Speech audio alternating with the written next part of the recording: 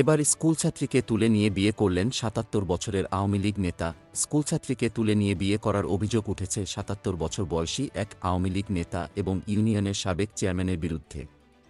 এ ঘটনায় থানায় লিখিত অভিযোগ দিয়েছেন ভুক্তভোগী ছাত্রীর বাবা। অভিযুক্ত ব্যক্তি টাঙ্গাইলের ধনবাড়ি উপজেলার মুসুদ্দি ইউনিয়নের সাবেক চেয়ারম্যান ও মুসুদ্দি ইউনিয়ন আওয়ামী লীগের সভাপতি হজরত আলী, সাতাত্তর। অভিযোগ সূত্রে জানা যায়, অভিযুক্ত চেয়ারম্যান ও নবম শ্রেণির ছাত্রী ওই কিশোরীর চোদ্দ পরিবার একই ইউনিয়নের। তারা দরিদ্র হওয়ার সুবাদে ওই বাড়িতে বিভিন্ন সহযোগিতার কথা বলে যাওয়া আশা করতেন হজরত আলী। এভাবে চেয়ারম্যানের সঙ্গে পরিবারটির সম্পর্ক ভালো ছিল।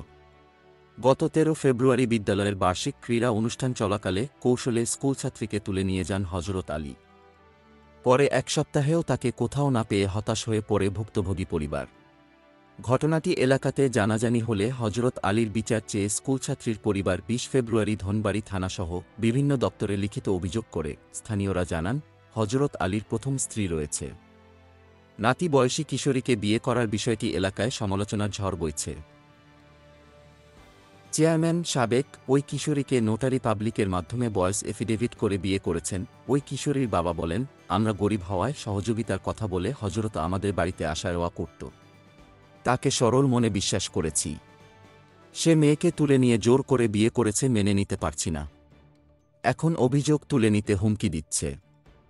এ বিষয়ে জানতে অভিযুক্ত হজরত আলীর ব্যক্তিগত মোবাইলে একাধিকবার যোগাযোগ করা হলেও তিনি রিসিভ করেননি। ধনবাড়ি থানার ভারপ্রাপ্ত কর্মকর্তা, ওসি সাজ্জাদ হোসেন বলেন স্কুলছাত্রীকে উদ্ধার করে পরিবারের কাছে হস্তান্তর করা হয়েছে। বিষয়টি ফৌজদারি না হওয়ায় থানায় মামলা নেওয়া যায়নি। তবে ভুক্তভোগী পরিবার যদি অভিযুক্তের বিরুদ্ধে থানায় ধর্ষণ মামলা করে, তাহলে তাদের সর্বোচ্চ আইনি সহযোগিতা দেওয়া হবে।